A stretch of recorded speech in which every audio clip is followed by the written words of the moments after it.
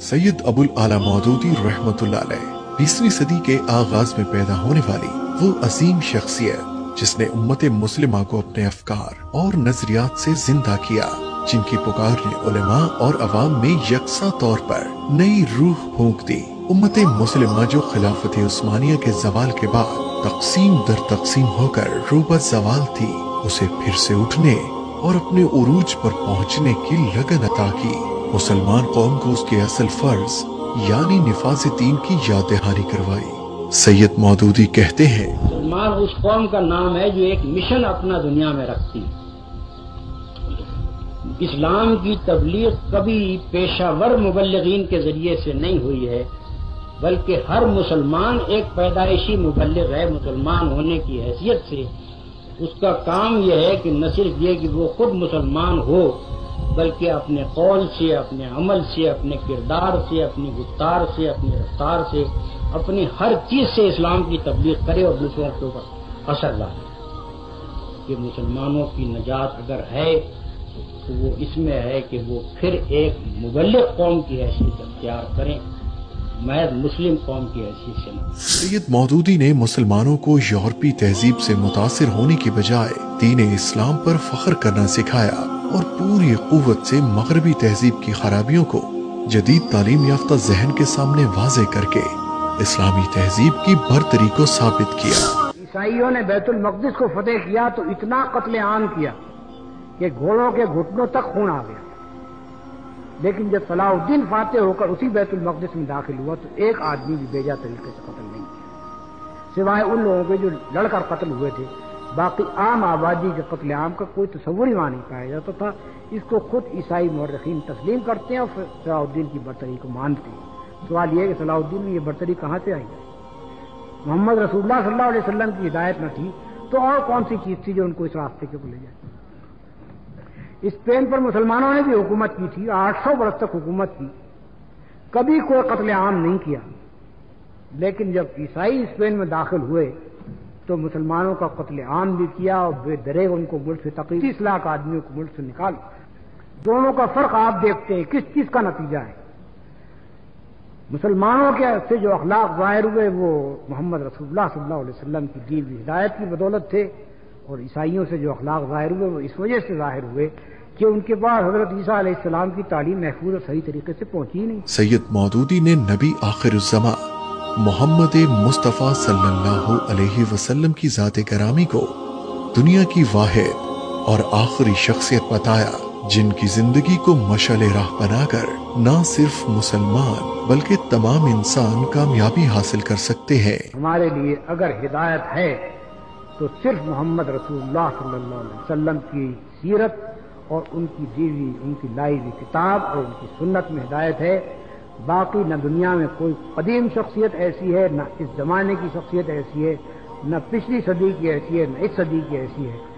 जिसके पीछे हम चले और जिसकी दीवी रहनुमाई को हम कबूल करें और जिसकी किताब को हम दिए फिरे कि ये हमारे लिए हिदायत है। सैयद मौदूदी रहमतुल्लाह ने दीन इस्लाम का गहरा मुताला किया। फिर बाकायदा मुनज़म अंदाज से दावत दीन के काम का आगाज़ किया।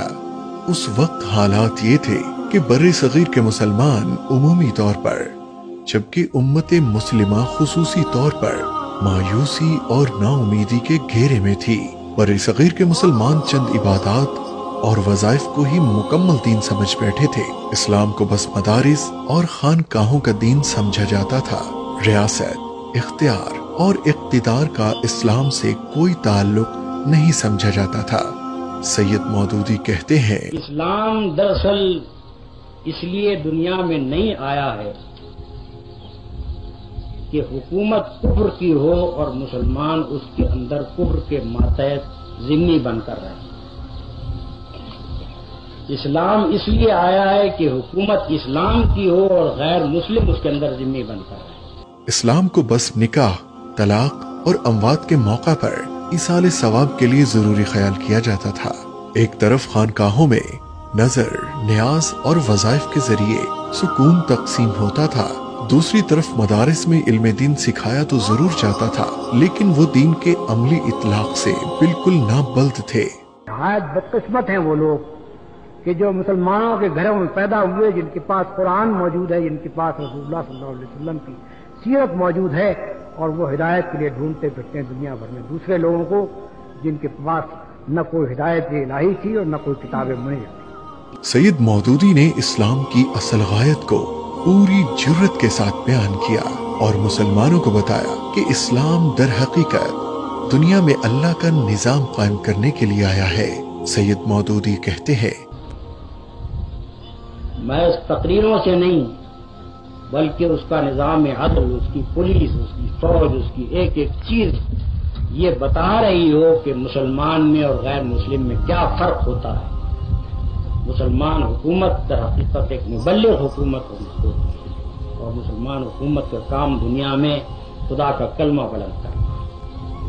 सैयद मौदूदी ने हुक्मरानों के सामने इस्लामी हुकूमत के फराज को वाजे किया और मुसलमान हुक्मरानों को उनकी असल जिम्मेदारियों से आगाह किया और कहा इस्लामी हुकूमत फकत मुल्क का इंतज़ाम चलाने के लिए नहीं है इस्लामी हुकूमत इसलिए है कि वो अपने अदल और इंसाफ से अपनी दयानतदारी से, अपने नेक तर्ज अमल से तमाम दुनिया के सामने इस्लाम की सदाकत की तबलीग करे।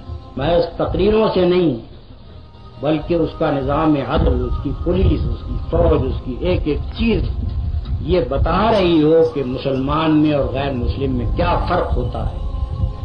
मुसलमान हुकूमत दर हकीकत एक मुबल हुकूमत हो। उसको और मुसलमान हुकूमत का काम दुनिया में खुदा का कलमा करना सैयद अबुल आला मौदूदी रहमतुल्लाह की शख्सियत एक नडर और बाहिम्मत शख्सियत थी, जो अपनी मंजिल और अपने मकसद को पाने के लिए वाज हिकमत अमली रखती थी। उनकी तकरीरों में उनका अज़्म और वलवला साफ़ देखा और महसूस किया जा सकता है, जो आज भी इस्लामी तहरीक का काम करने वालों के लिए मशल राह है। में हिकमत नहीं होती, वो एक राह को बंद पाकर बैठ जाता है। और इसके साथ अगर वो बेसब्र भी हो तो फिर या तो उस रुकावट से अपना सर फोड़ लेता है, या रवि से ही भागा जाता है। मगर जिसे अल्लाह ने हिकमत और सब्र दोनों से नवाजा हो, वो जुए रवा की तरह होता है, जिसकी मंजिल कोई चीज़ भी खोटी नहीं कर सकती। चटाने मुँह देखती रह जाती हैं और दरिया किसी और तरफ़ से अपनी मंजिल